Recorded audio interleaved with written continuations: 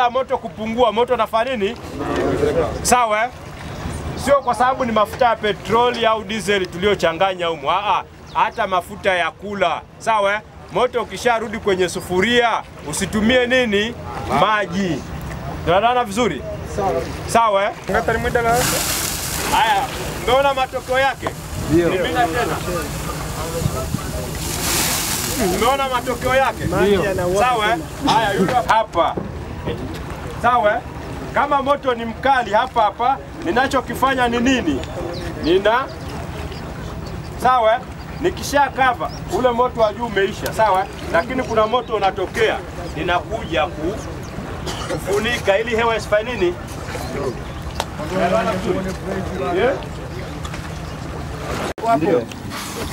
Hilo jambo la kwanza la msingi sana, limekaza vizuri kwa ajili ya usalama wako wewe mwenyewe. Sawa. Ukiingia kwenye maji utafanya mambo matatu kama sio manne. Moja ni kuweza kujiokoa wewe mwenyewe. Sawa eh? Umevaa life jacket lakini uweze kujiokoa wewe mwenyewe. Namba mbili itafanya kinaitwa hurdle. Hurdle ni namna ambavyo unaweza kujiokoa ukiwa watatu, wanne, watano. Ushapata ile ya pamoja, tushapata balansi yako vizuri, tunaitana, tunashikana kwa pamoja. Simuelekezwa pia hiyo eh?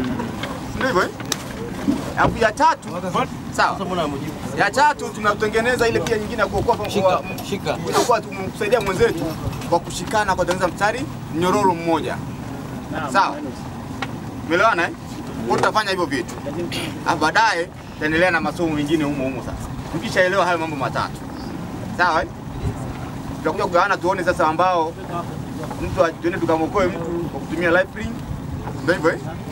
Tunawarushia life ring tuna tunawavuta na maboti mawili hapo, mmoja tunaweza tukawafanya ndio waokoaji, mwingine ndio kwenye meli ya Bukoba ndio wamedumbukia, sasa tunaenda kuwaokoa.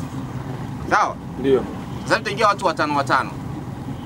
Nachukua nafasi hii kumpongeza sana na kumshukuru sana Mheshimiwa Rais Samia Hassan Suluhu kwa kutuona sisi ambao ni watu wa visiwani. Naomba tumpigie makofi. Tunamshukuru sana tena sana. Pili, tunamshukuru Waziri Mkuu naye kwa jitihada zake ambazo anazifanya na kufikiria kwamba kweli visiwani kuna watu na Watanzania. Naomba tumpigie makofi. Pili, nipende kuwashukuru wote ambao wamekuja hapa na kuhudhuria semina hii.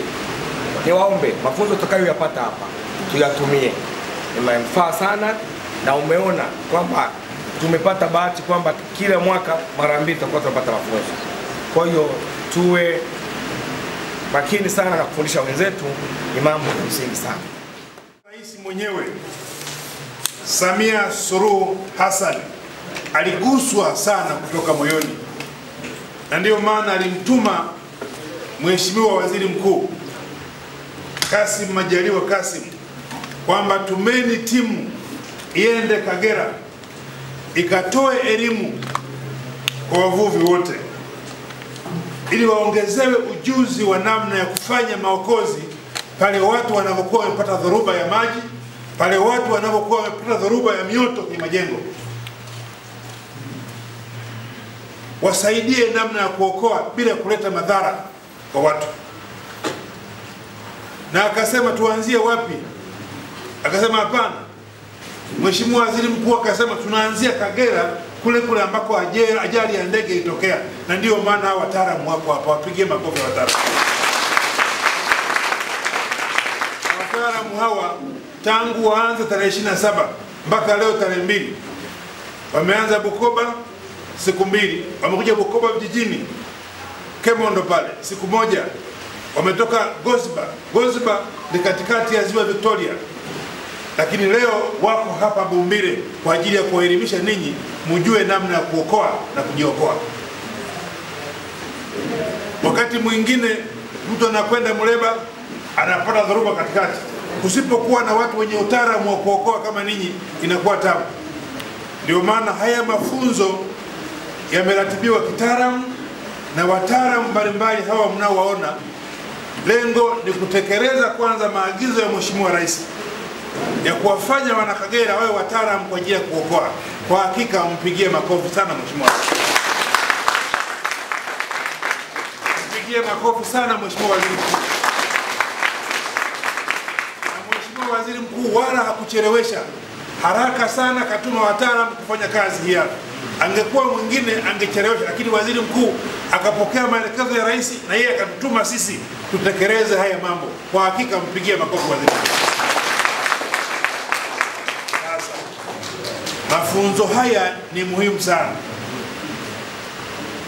msinge yapata lakini kwa bahati na vifaa viko hapa vya kujifunzia.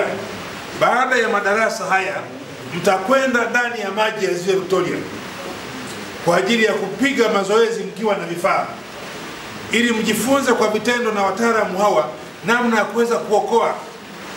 Nina hakika baada ya ninyi kufuzu mafunzo haya, mtakuwa msaada kwa wengi ambao hawana utaalamu wa kuogelea, ili watakapopata dharuba nyinyi mtawaokoa. Lakini pili, sio hilo tu, ninyi ni wachache mmepata mafunzo, lakini baada ya semina hii mtakwenda kuwafundisha wengine ili nao wajue namna ya kuokoa na kujiokoa.